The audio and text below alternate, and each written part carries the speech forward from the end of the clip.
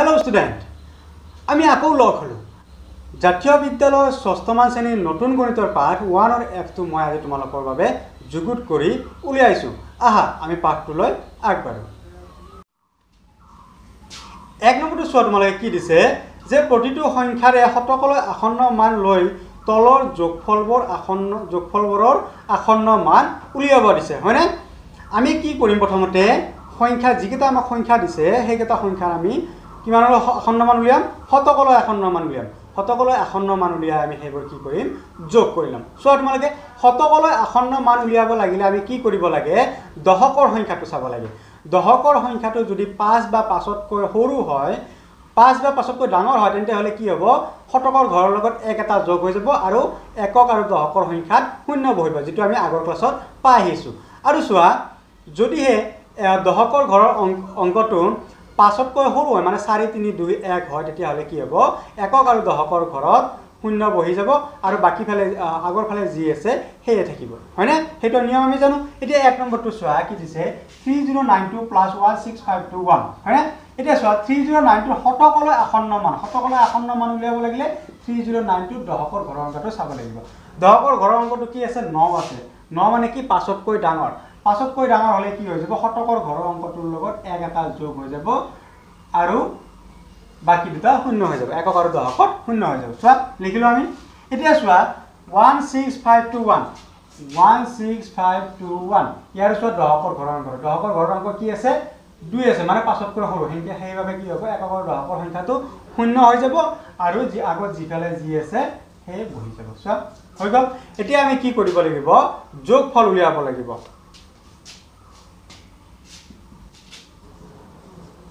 যোগফল ডাঙৰটোৰ লগত সৰুটো কৰা ডাঙৰটো আগত ওপৰত বহুৱাই লোৱা। তাৰপিছত সৰুটো তলত লিখা। শূন্য শূন্য পাঁচ এক ছয় ছয় শূন্য ন এক। কিমান পালোঁ? শূন্য হাজাৰ ছয়শ। এইটোৱে হ'ব ইয়াৰ উত্তৰ। ঠিক আছে? এতিয়া তোমালোকে নেক্সটটো যিটো ৰ'ল এক নম্বৰটো ৰ'ল যিটো সেইটো তোমালোকে নিজে হোমৱৰ্ক হিচাপে কৰিবা। এতিয়া আমি দুই নম্বৰলৈ আহোঁ। চোৱা দুই নম্বৰত কি দিছে। ইয়াত চোৱা দুই নম্বৰটো কি দিছে প্ৰতিটো সংখ্যাৰে হাজাৰলৈ আসন্ন মান লৈ তলৰ যোগফলবোৰ যোগফলবোৰৰ আসন্ন মান উলিয়াবা। এক নম্বৰটো দিছে এক নম্বৰটো আমি তোমালোকে নিজে কৰিবা মই দুই নম্বৰটো তোমালোকক বুজাই দিছোঁ। চাবা এইবাৰ কিহৰ কৰিব লাগিব? হাজাৰলৈ আসন্ন মান উলিয়াব লাগিব। হাজাৰলৈ আসন্ন মান উলিয়াব লাগিলে কি কৰিব লাগে আমি? শতকৰ ঘৰৰ সংখ্যাটো চাব লাগে। চোৱা আমি এইটো কৰি লওঁ one six five nine two one হাজাৰলৈ আসন্ন মান উলিয়াব লাগে আমি কি চাব লাগিব? শতকৰ ঘৰৰ সংখ্যাটো চাব লাগিব। শতকৰ ঘৰৰ সংখ্যাটো কি হৈ আছে? ন হৈ আছে মানে পাঁচতকৈ ডাঙৰ। সেইবাবে আগত যিটো আছে সংখ্যা সেইটোৰ লগত এক এটা যোগ হৈ যাব।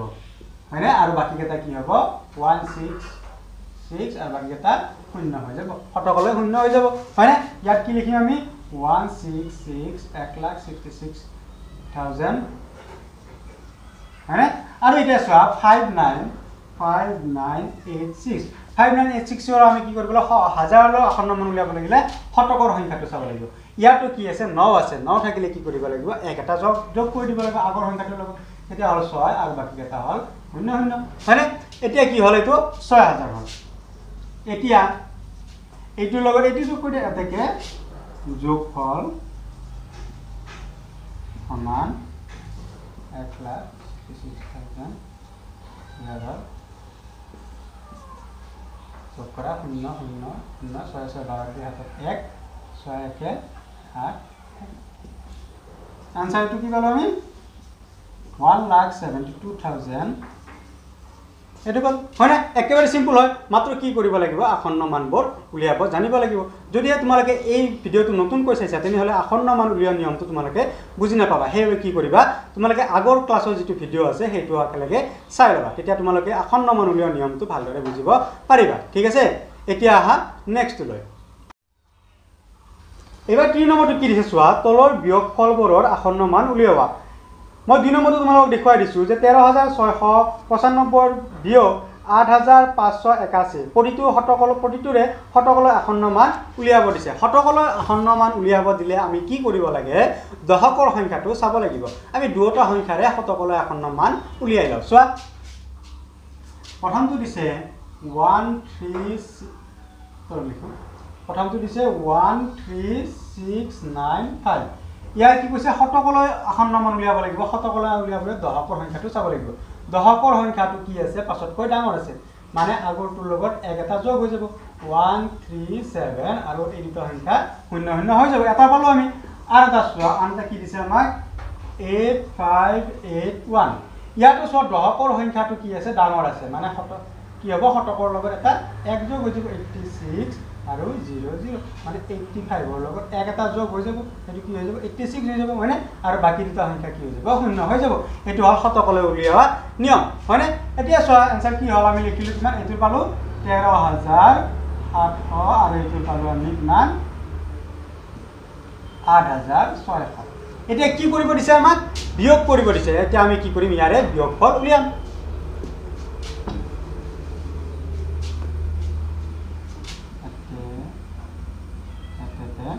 কিমান হ'ল তেৰ হাজাৰ সাতশ আৰু আঠ হাজাৰ ছয়শ। বিয়োগ শূন্য শূন্য সাতত ছয় গ'ল এক হয়নে? তিনিৰ পৰা আঠ নাযায় কিমান হ'ল? তেৰ হ'ল তেৰ আঠ হ'ল কিমান হ'ল? তেৰ আঠ গ'ল আঠ ন দহ এঘাৰ বাৰ তেৰ পাঁচ। তেৰ আঠ গ'ল পাঁচ। এনচাৰ এটাকে এনচাৰ কিমান হ'ব? পাঁচ হাজাৰ একেবাৰে চিম্পল হয় হয়নে? এইটো অংক তোমালোকে মই বুজাই দিলোঁ তোমালোকে বাকী দুটা থকা অংক দুটা হোমৱৰ্ক হিচাপে কৰি ল'বা। ইয়াত চাৰি নম্বৰটো তোমালোকে চাবা যে প্ৰতিটো সংখ্যাৰে সৰ্বোচ্চ স্থানলৈ আসন্ন মান লৈ তলৰ সংখ্যাবোৰ তলৰ পূৰণফলবোৰৰ আসন্ন মান উলিওৱা। আৰু পাঁচ নম্বৰটো চোৱা তোমালোকে প্ৰতিটো সংখ্যাৰে সৰ্বোচ্চ স্থানলৈ আসন্ন মান লৈ তলৰ তলৰ হৰণ ফলবোৰ আসন্ন মান উলিওৱা। এটাত কি কৈছে সৰ্বোচ্চ স্থানলৈ আসন্ন মান উলিয়াব দিছে আৰু কি কৰিব দিছে পূৰণ কৰিব দিছে। আৰু আন এটাত কি দিছে হৰণ কৰিব দিছে। নিয়মটো একেই মাত্ৰ পূৰণ আৰু হৰণ কৰিব লাগে। চ' আমি কি কৰোঁ ইয়াৰে দুই নম্বৰটো চাৰি দুই নম্বৰটো মই তোমালোকক কৰি দেখুৱাই দিছোঁ। চোৱা ফাইভ ওৱান ফ'ৰ ছেভেন এইটো কি হৈ আছে একক শতক হাজাৰ। মানে এইটোৰ কি হ'ব সৰ্বোচ্চ স্থান হাজাৰলৈ হ'ব। হাজাৰলৈ আসন্ন মান উলিয়াব লাগিলে আমি কি কৰিব লাগিব শতকৰ ঘৰৰ অংকটো চাব লাগিব। চোৱা ফাইভ থ্ৰী ফ'ৰ ছেভেন শতকৰ ঘৰত কোনটো আছে? তিনি আছে। তিনিটো কি? পাঁচতকৈ সৰু। সেইবাবে কি হ'ব? ইয়াত একটো যোগ নহয় আৰু বাকীকেইটা কি হৈ যাব? শূন্য শূন্য হৈ যাব। সেইবাবে লিখা ফাইভ থ্ৰী ফ'ৰ ছেভেন সংখ্যাটোৰ সৰ্বোচ্চ স্থান হাজাৰৰ স্থান। ইয়াৰ হাজাৰলৈ আসন্ন মান হ'ব কি? ফাইভ থাউজেণ্ড আকৌ চোৱা যে two nine one two nine ওৱানৰ সৰ্বোচ্চ কি স্থান হ'ল? শতক। শতক হ'লে কি কৰিব লাগিব আমি? শতকৰ আসন্ন মান উলিয়াব লাগিব। শতকৰ আসন্ন মান উলিয়াব লাগিলে আমি কি কৰিব লাগিব? দশকৰ সংখ্যাটো চাব লাগে। চোৱা দশকৰ সংখ্যাটো ন আছে। মানে কি হ'ব? পাঁচতকৈ ডাঙৰ সেইবাবে শতকৰ ঘৰৰ সংখ্যাটোত এটা যোগ হৈ যাব। দুৰৰ লগত এক যোগ হ'লে কিমান হ'ব? তিনি। আৰু বাকী দুটা কি হৈ যাব? শূন্য শূন্য হৈ যাব। হয়নে? কিমান হ'ল? তিনিশ চ' ইয়াত কি বুলি লিখিলোঁ? ফাইভ থ্ৰী ফ'ৰ ছেভেন মানে five thousand three hundred forty ছেভেনৰ সংখ্যাটোৰ সৰ্বোচ্চ স্থান হাজাৰৰ স্থান। হয়নে? ইয়াৰ হাজাৰলৈ আসন্ন মান হ'ব। ফাইভ থাউজেণ্ড আমি যিটো উলিয়াই ল'লোঁ। আৰু চোৱা টু নাইন ওৱান সংখ্যাটোৰ সৰ্বোচ্চ স্থান শতকৰ স্থান। ইয়াৰ শতকলৈ আসন্ন মান হ'ব থ্ৰী হাণ্ড্ৰেড হয়নে? একেবাৰে চিম্পুল হয়। এতিয়া কি কৰিব লাগিব আমি? পূৰণ কৰিব লাগিব। কৰা পূৰণ। Five zero' zero' zero' into three zero' zero' এতিয়া কি কৰা? জিৰ' জিৰ' থাকিলে কি কৰিব লাগে? আমি জিৰ'কেইটা একেলগে একেলগে পাতি লওঁ। এটা, দুটা, আৰু এক, দুই, তিনি। পাঁচটা জিৰ' হ'ল। আৰু কিমান হ'ব? পাঁচ, তিনি গুণ পোন্ধৰ। হ'ব। হয়নে? একেবাৰে চিম্পুল হয়। এইটোৱে এনচাৰ তোমালোকে এইটো এনচাৰ লিখি দিব পাৰা। ওৱান ফাইভ একক দহক শতক হাজাৰ অযুত লাখ পোন্ধৰ লাখ। একক দহক শতক হাজাৰ অযুত লাখ পোন্ধৰ লাখ হৈ গ'ল। হয়নে? একেবাৰে চিম্পুল হয়। মাত্ৰ কি কৰিব লাগে আমি? সৰ্বোচ্চ আসন্ন মানটো উলিয়াব। এইবাৰ মই তোমালোকক পাঁচৰ দুই নম্বৰটো দেখুৱাই দিছোঁ। পাঁচৰ দুই নম্বৰটোত কি আছে চোৱা?